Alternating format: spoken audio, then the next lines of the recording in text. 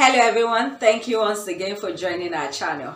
My name is Tinola Ajayi from Absolute Fragrance. Today I'm doing a side-by-side -side review of YSL Black Opium. I have a bottle of it here and YSL Black Opium Intense. I'd had a full day with both perfumes to really, really note down the differences or the similarities that I see in both perfumes. And then one thing to note, I'd already done individual reviews of each perfume. And so that means that you can find the link to the YSL Black Opium up here.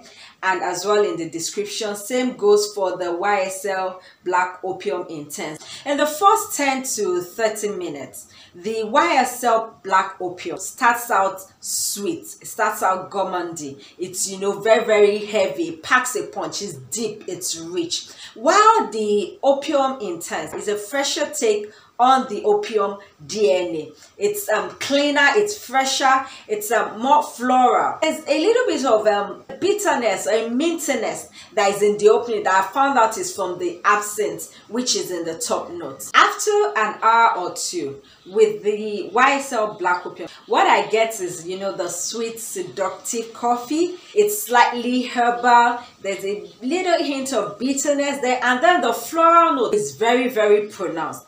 While for the opium intense, what I get is um still slightly sweet, it's still fresh, it's still quite floral and then the mintiness has actually wore off. So you have a more pronounced fruity floral note you know being at the forefront of the perfume. In the final dry down the opium the original opium you know is still sweet is yummy is woody is creamy. And then i find that at this point you can actually find the dna of the opium in the opium intense i know for quite a number of people the word intense will actually connote a stronger, you know, denser, heavier perfume. But it's not the case in this situation. Now for YS Original Black Opium, I get between 8 to 12 hours of longevity. It's longer lasting than the Opium Intense. While for the Opium Intense, I get about 6 to 8 hours of longevity. The opium does not really change much from start